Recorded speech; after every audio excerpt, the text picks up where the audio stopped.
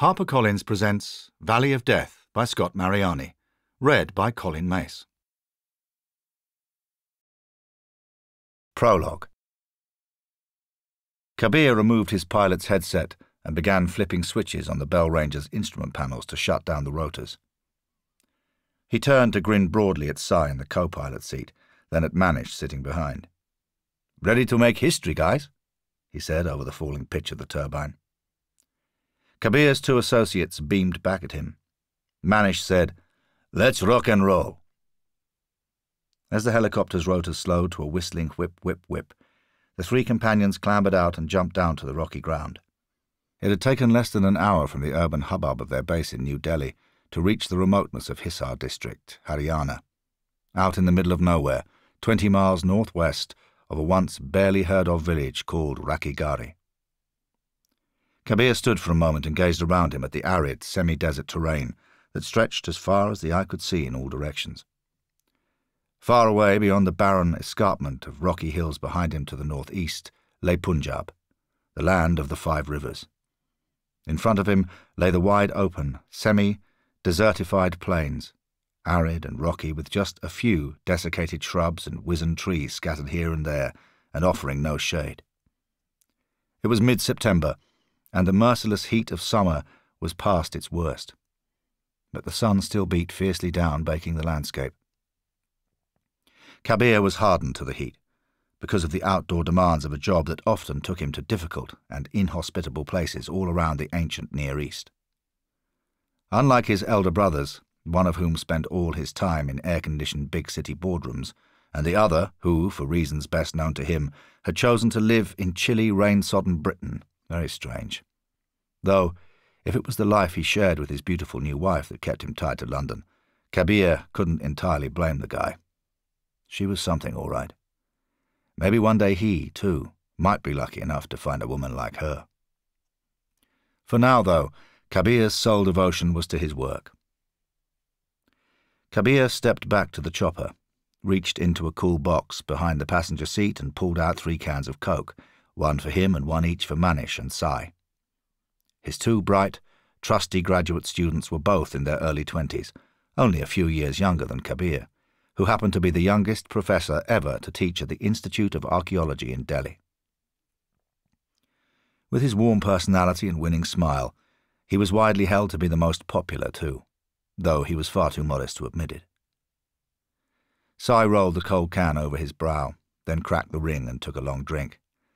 That hit the spot. Thanks, boss. Sai never called him professor. No littering, please, Kabir said. This is a site of special archaeological interest, remember, or soon to be. Doesn't bloody look like it right now, Manish said. Sai finished the can, crumpled it between his fingers, and surveyed it with a thoughtful frown. Just think, if I chuck this away, among the rocks, Four thousand years into the future, some guy like us will dig it up and prize it as an ancient relic of our culture, wondering what the hell it can teach him about the long-lost civilization of the 21st century. Kabir smiled. That's history in action for you. Now, let's go and see what we can figure out about the people who lived here 4,000 years ago. I don't think they drank Coke, Manish said. Nah, something else killed them off.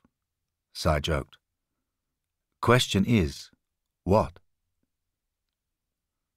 It was one of the puzzles that Kabir had spent his whole career trying to answer, and it was no joke to him.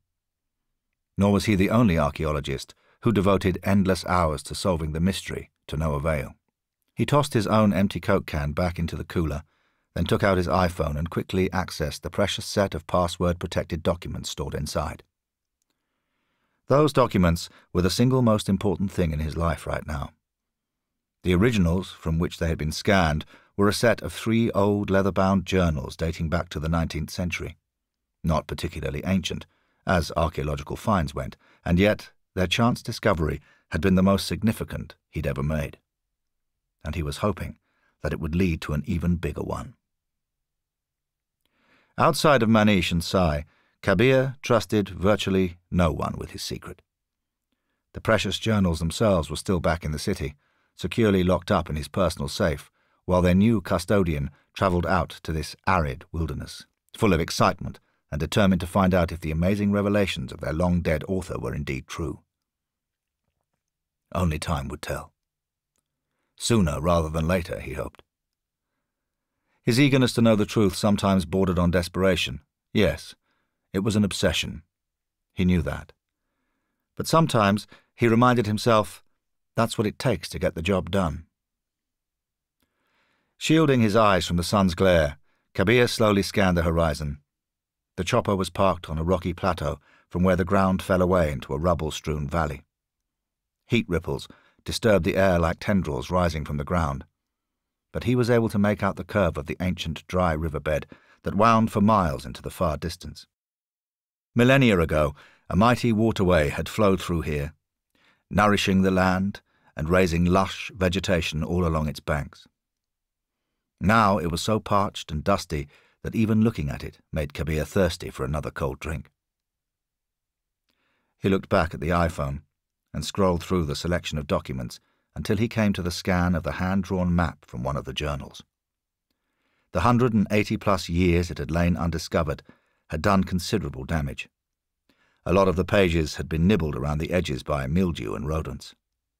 Others were so badly faded and water-stained as to be barely legible.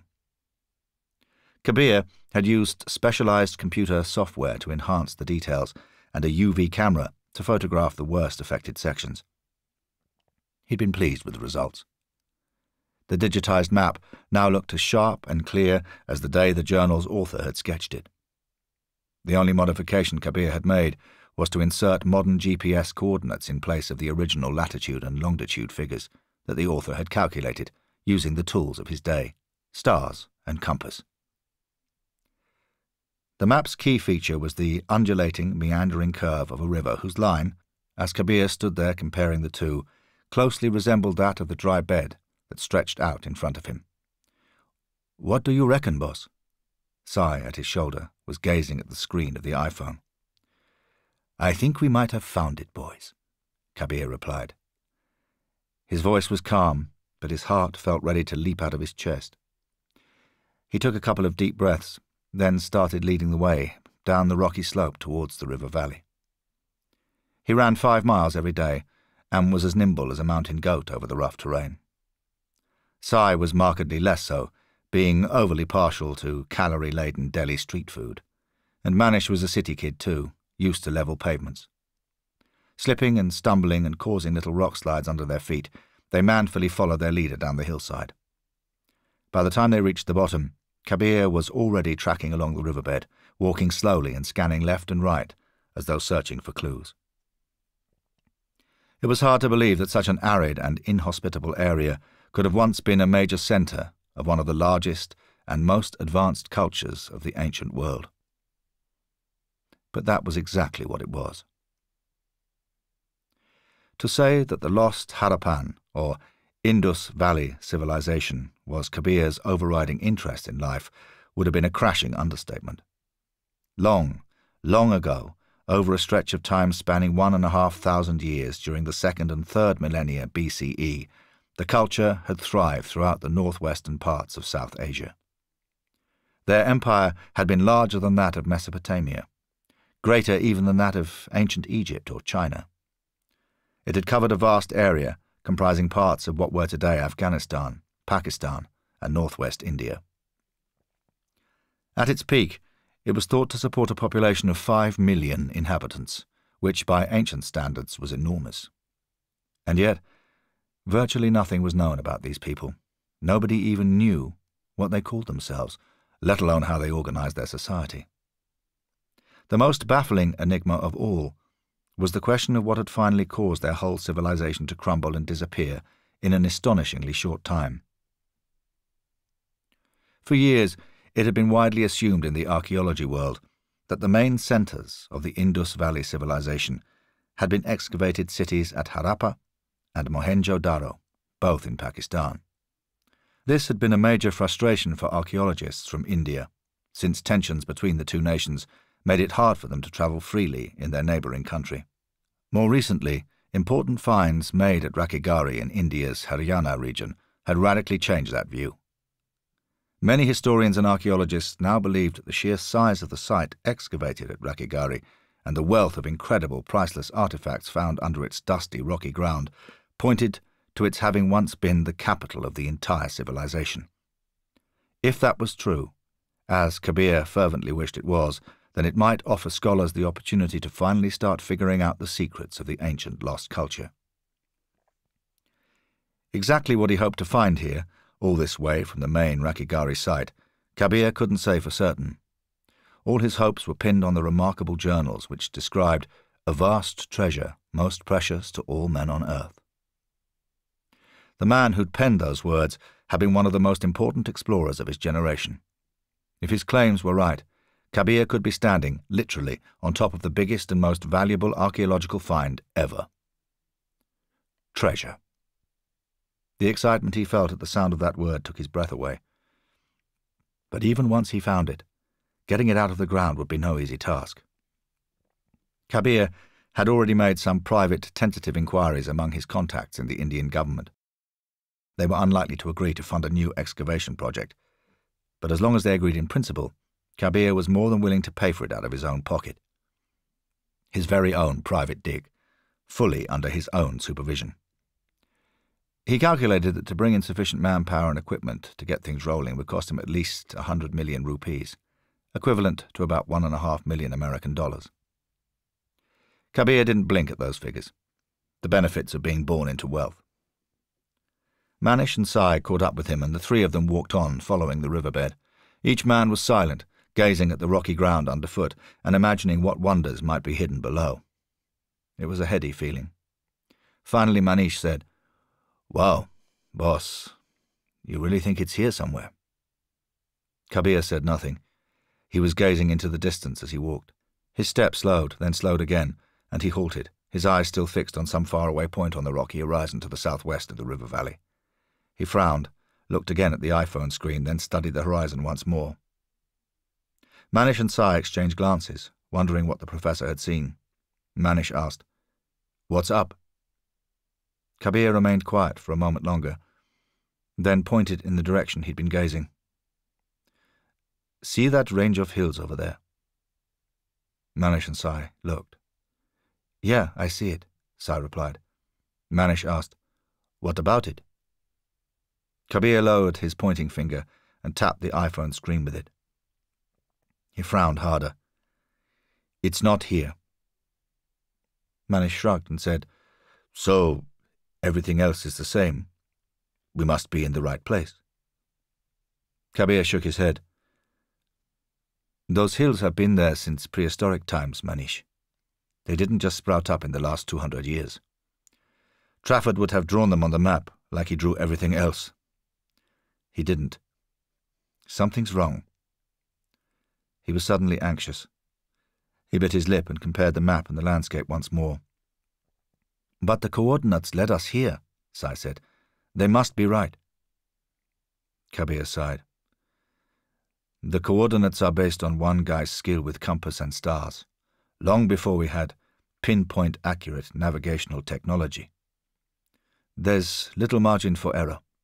One tiny slip on Trafford's part, and the GPS could take us half a mile off course or more. So what are you saying? Manish asked, staring at him. I'm saying there's a disparity between the map and this location that I hadn't noticed before. Sai said, In other words, we're in the wrong bloody place. Manish was about to say something when he suddenly froze. Hear that? Sai said, What? Now Kabir heard it too, and turned to look in the direction of the sound. The approaching vehicle appeared on the ridge above the river valley, some ninety or a hundred yards to the west, the direction of the parked helicopter. Kabir instinctively didn't like the look of it. As he watched, it tipped over the edge of the slope and started bouncing and pattering its way down the hillside towards them, throwing up a dust plume in its wake. It was moving fast, some kind of rugged four-wheel drive, like the Nissan Jonga jeeps the Indian Army used to use. Who are they, boss? Sai asked, apprehensively. No idea, but I think we're about to find out. The jeep reached the bottom of the hillside and kept coming straight towards them, lurching and dipping over the rubble. Then it stopped, still a long way off. The terrain on the approach to the riverbed was too rough even for an off-roader. We hope you enjoyed this preview. To continue listening to this audiobook on Google Play Books, use the link in the video description.